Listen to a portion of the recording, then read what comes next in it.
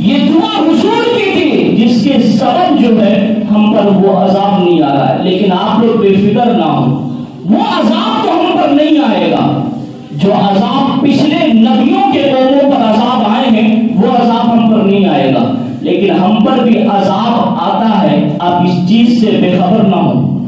आप ये ना सोचे कि हाँ हुजूर ने दुआ कर दी, अब हम पर अजाब नहीं आएगा। हाँ ये बात हकीकत है। हुजूर लेकिन वो दुआ की थी, अल्लाह, मेरी उम्मत पर इज्तिमाई अजाब ना आए जो तूने पिछले नबियों के कौमों पर नाजिल किए थे। तो जो पिछले नबियों के कौमों पर जो अजाब आए हैं, वो अजाब हम पर नहीं आएँगे। लेकिन हम पर अजाब नहीं आएगा। आप इस चीज़ से बेखबर ना रहें। और मैं आपको खबरदार कर दूँ कि हम पर अजाब आते हैं तो इस तरीके से आते हैं। हम पर किस किस तरीके के अजाब आते हैं? मुस्लिम शरीफ की हदीस पाक है। अल्लाह के रसूल सल्लल्लाहु अलैहि वसल्लम ने सहाबा से फरमाया ऐ सहाबा, मेरा दिल ये चाहता है, मेरे एक एक जुमले पर गौर करना। अल्लाह के रसूल सल्लल्लाहु अलैहि वसल्लम ने फरमाया ऐ सहाबा, मेरा दिल ये चाहता है कि किसी को कहूँ कि वो अजान पढ़ दे और किसी को मुसल्ले इमामत पर खड़ा कर दूँ कि वो नमाज़ पढ़ाए और मैं बस्ती के अंदर चला जाऊँ और जो लोग नमाज़ के लिए मस्जिद में नहीं आए हैं, मैं उनके घरों को आग लगा दूँ। ये हदीस मुस्लिम शरीफ की हदीस है पाक सियासता की हदीस है। अल्लाह के रसूल सल्लल्लाहु अलैहि वसल्लम सहाबा से फरमा रहे ऐ सहाबा, मेरा दिल ये चाहता है कि किसी को कहूँ कि वो अजान कर दे, किसी को कहूँ कि वो नमाज़ पढ़ाए और मैं बस्ती के अंदर चला जाऊँ।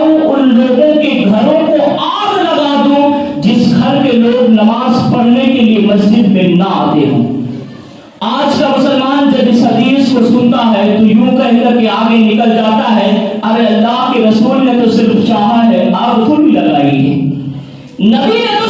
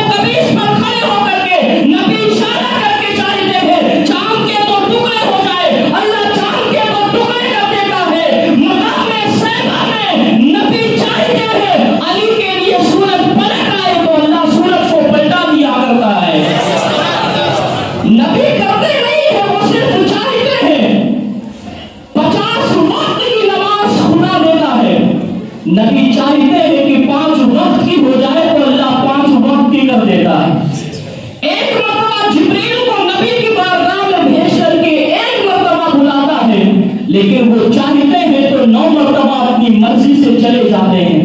वो चाहते हैं सिर्फ़ वो करें तो बहुत बड़ी बात है। वो सिर्फ़ चाहते हैं, उनका चाहिए बहुत कुछ है। और नबी क्या चाहते हैं? मुस्लिम शरीफ की हदीस अल्लाह के रसूल फरमाते हैं, मेरा दिल चाहता है कि किसी को कहूँ कि वो अजान पढ़े, किसी को कहूँ कि वो नमाज़ पढ़ाए। और मैं बस्ती के अंदर चला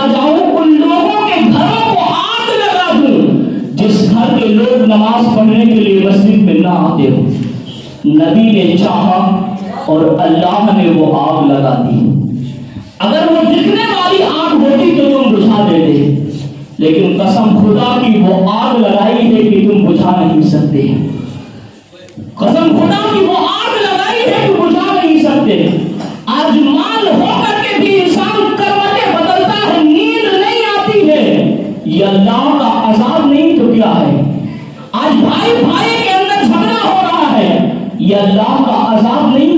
अजाब नहीं है तो क्या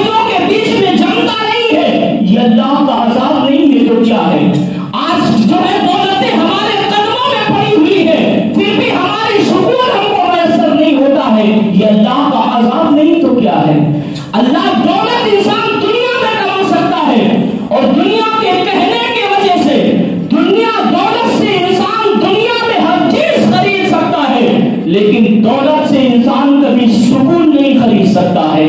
कितनी भी इंसान के पास होने लेकिन सुकून नहीं मिल सकता है।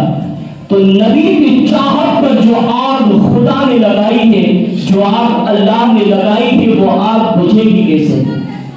नबी की चाहत पर जो आग अल्लाह ने लगाई है, वो बुझेगी कैसे? पानी से तो नहीं बुझ सकती है।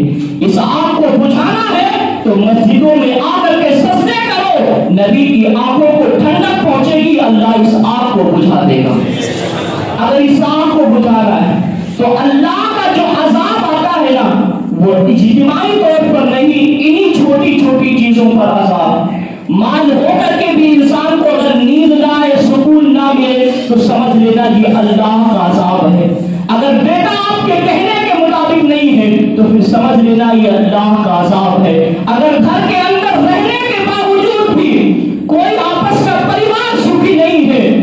तो समझ लेना फिर अल्लाह का अजाब है। दो भाई एक घरों में रह करके अगर जुदा जुदा है तो ये समझ लेना ये अल्लाह का अजाब है। दौलत होने के बावजूद, कारोबार चलने के बावजूद अगर कारोबार अचानक बंद हो जाए तो ये समझ लेना कि अल्लाह का अजाब है। दुनिया की तमाम दौलतें मौजूद हो, अगर सुकून ना मिले तो फिर समझ लेना ये अल्लाह का अजाब है। तो वो अजाब तो नहीं आएगा जो पिछले नबियों के कौमों पर आए हैं, लेकिन यही अजाब हम पर आता है। यही अजाब इन्हीं छोटे छोटे अजाब हम पर नाजिल किए जाएँगे और तुम्हें यह दिलाया जाएगा। ऐ लोगों, जो लोग रसूल के फरमान से हट गए हैं, रसूल के फरमान से हटने वालों का अंजाम यही होता है। हज़रत मूसा अलैहिस्सलाम के सीरत से और उनकी ज़िंदगी से यही सबक मिलता है। और पिछले नबियों ज़िंदगी से यही सबक मिलता है। जिन लोगों ने रसूल के फरामीन को छोड़ दिया और रसूल के फरमान से हट गए, उन पर अल्लाह तबारक व का अजाब नाजिल किया। मेरे मिल्लत के नौजवानों, अब भी वक्त है, हम रसूल के फरमान को अपना करके, रसूल के फरामीन के मुताबिक अपनी ज़िंदगी गुजारें। यही हमें दुनिया के अंदर निजात दिलाएगा और यही हमें कयामत के दिन निजात दिलाएगा। अल्लाह की बारगाह में दुआ है, मालिक कायनात, हम तमाम लोगों को रसूल के फरामीन के मुताबिक अपनी ज़िंदगी को गुजारने की तौफीक अता फरमाए।